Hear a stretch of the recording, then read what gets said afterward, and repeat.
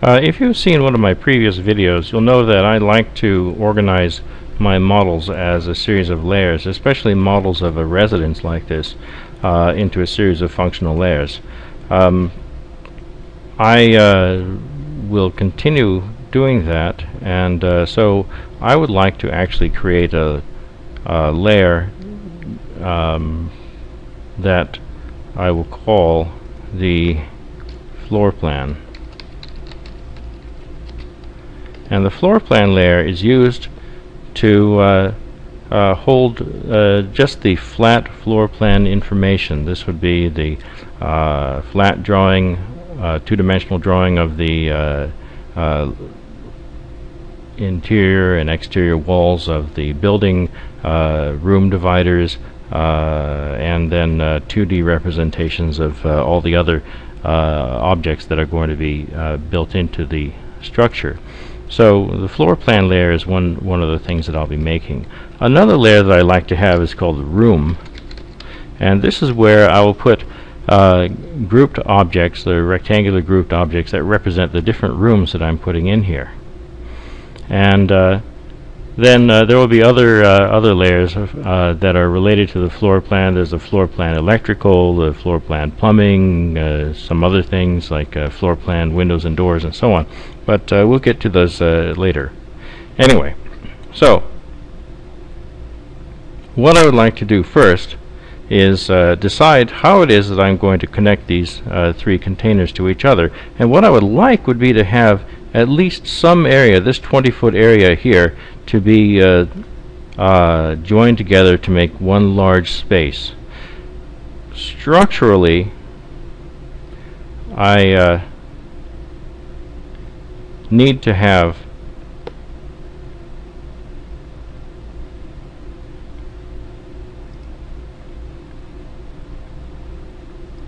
there we go I need to ac accommodate this framework here because this this this framework kind of holds a lot of things together. I don't want to cut any of these uh, framing elements, and so that leaves you know that leaves this portion uh, in which I can uh, I can place some sort of uh, tunnel between between the three uh, containers. This is a 20 foot container. I think what I'll do is I'll put in a uh, um, say a 16 foot wide uh, opening. So I'm going to make a rectangle. I know that this is 8 feet across here. One container is 8 feet across. And so what I'm going to do is I'm going to make a rectangle. And this rectangle is going to be uh, 8 feet by, what is did 16, 16 feet. There we go. And I'm going to make this into a group for now and I'm going to place it over here like this. And I'm going to move it from its midpoint you see my inference lock over there into the midpoint of this group here like that.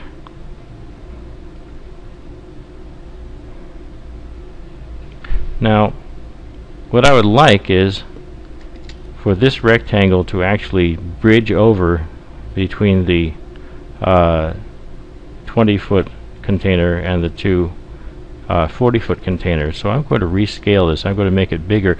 I'll use my control key while I move the scaling. That way it will scale on both sides. It'll scale on both sides and I want it to be maybe like that big.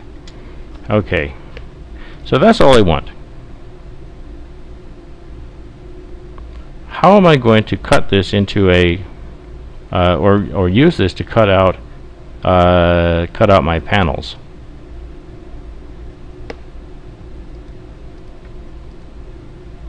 There we go. One thing is that I know that it's on top of my floor. If I edit this group, this one here, I can make it uh, taller. I use my push-pull tool and I'm going to pull it up a certain amount. Uh, to the top of the panel is 9 feet I'm going to make it 8 feet like that so this is going to be an 8 foot tall opening that's 6 feet across uh, 16 feet across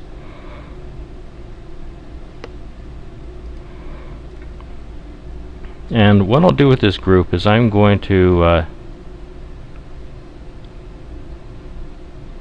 explode it. No, rather, I'm sorry. I'm going to start off with this uh, this container. So I double click on the container and now I'm going to make use of this wall here. This wall is a group.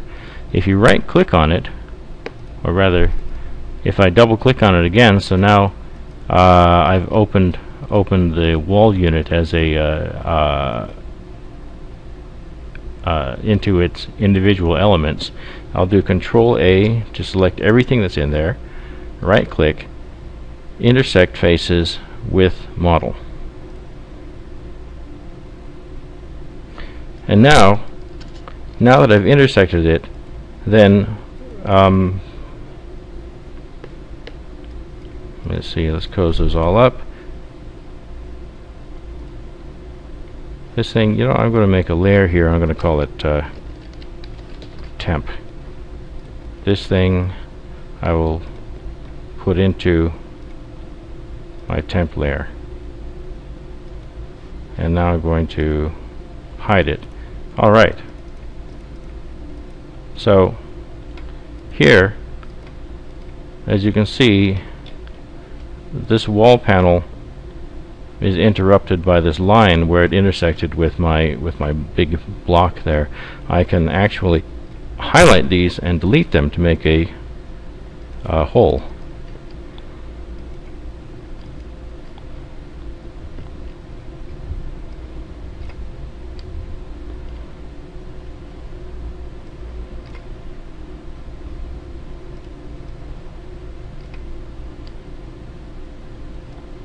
There.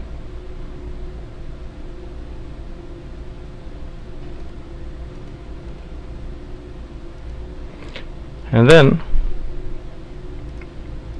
I'll do the same for this group or this this component.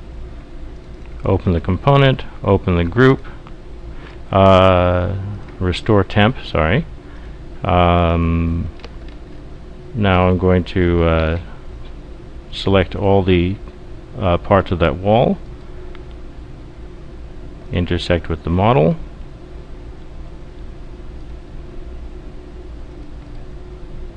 um,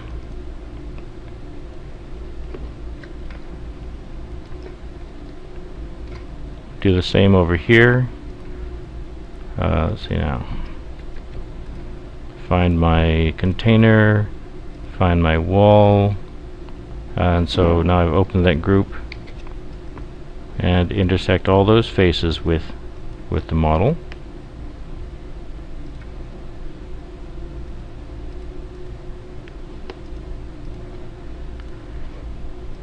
I'll hide my temp layer again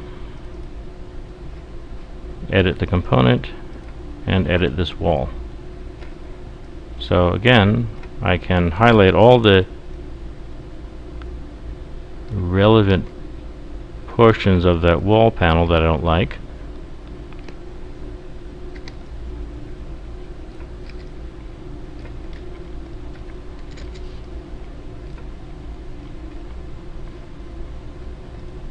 Let's try that again. There we go. And delete them. I'll close this group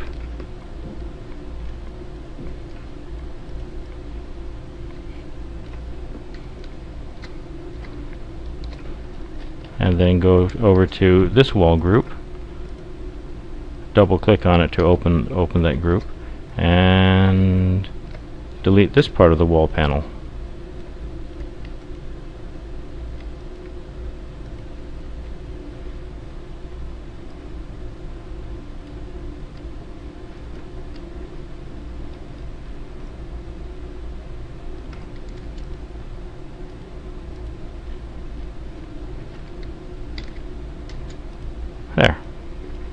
And so now you can see that there's a hole that goes all the way through, 16 feet by 8 feet.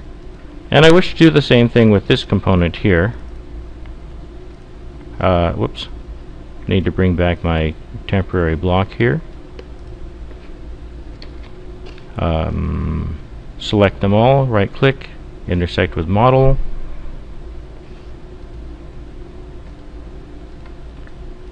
Um, hide temp again. And again cut out the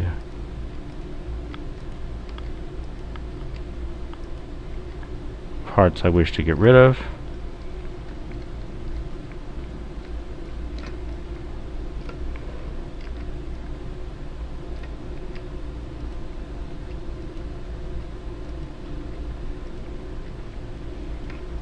Hmm.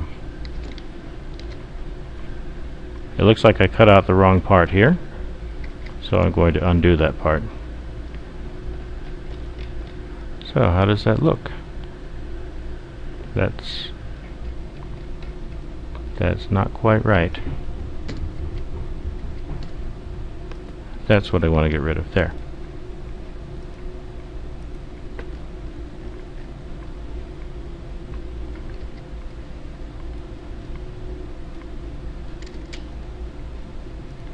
And so, now you can see my container now has this large area here that goes all the way across, that's 24 feet across approximately, with the uh, uh, encompassing the, the three uh, containers. And so I've used the uh, I've uh, double clicked on each component to open the component for editing then I find the wall panel group, double click on that to open it for editing.